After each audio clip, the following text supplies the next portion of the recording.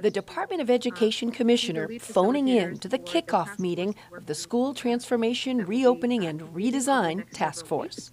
Families across the state are, um, you know, anxious about the future, um, anxious about what that future of their children in school um, looks like. Members from across the state challenged to create guidelines to reopen schools in the fall that prioritize safety and provide the best educational opportunities.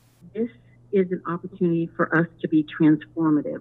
If we don't take this opportunity, shame on us. Capitalizing on the successes some have found with remote learning and mitigating concerns. As a student, I've noticed that a lot of kids in my high school and at other high schools have lost motivation and interest because um, there's no one there to make motivate them.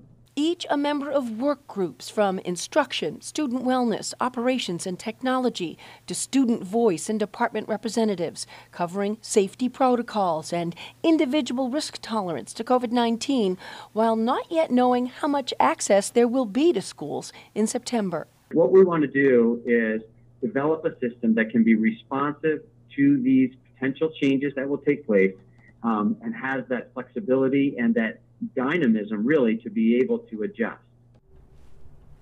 Now, the work groups start meeting next week. There will also be a survey to include more voices, and the task force will consider all that input and have a preliminary recommendation by June 30th. We're live in Portsmouth. Jennifer Crompton, WMUR News 9.